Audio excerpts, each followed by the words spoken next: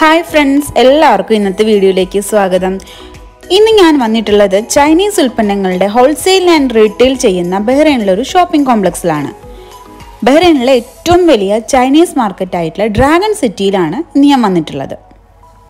ഇന്നത്തെ ഈ വീഡിയോയിൽ നമുക്ക് ഡ്രാഗൺ സിറ്റിയിലുള്ള കുറച്ച് കാഴ്ചകൾ കണ്ടു നോക്കാം.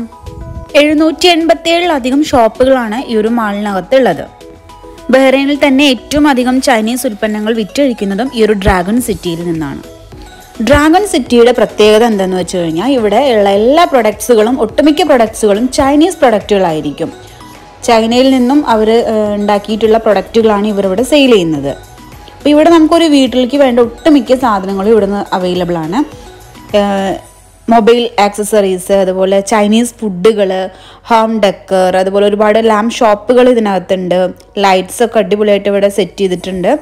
അതുപോലെ കാർപ്പറ്റ്സ് ഇലക്ട്രോണിക് ഐറ്റംസ് അതുപോലെ കുട്ടികൾക്കാണെങ്കിൽ ടോയ്സ് ബെഡ് ടൂൾസ് അങ്ങനെ എന്തൊക്കെയാണോ നമുക്കൊരു വീട്ടിലോട്ട് ആവശ്യമായിട്ട് വരുന്നത് എല്ലാം നമുക്ക് ഈ ഒരു ഡ്രാഗൺ സിറ്റിയിൽ വന്നു കഴിഞ്ഞാൽ കിട്ടും.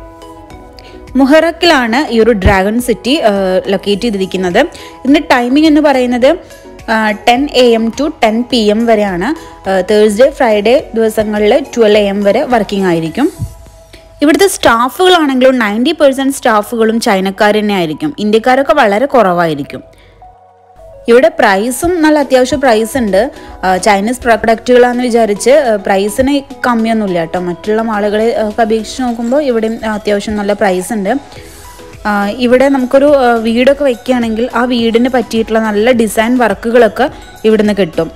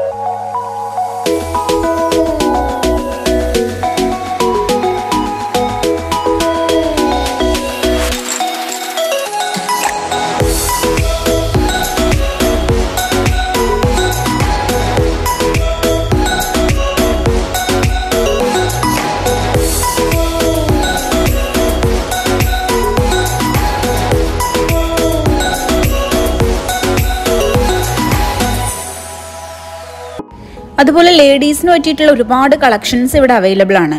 നെക്ലേസ് റിങ് അങ്ങനെ ഒരുപാട് നല്ല നല്ല കളക്ഷൻസ് നമുക്ക് ഇവിടെ വന്നു കഴിഞ്ഞാൽ കാണാൻ പറ്റും.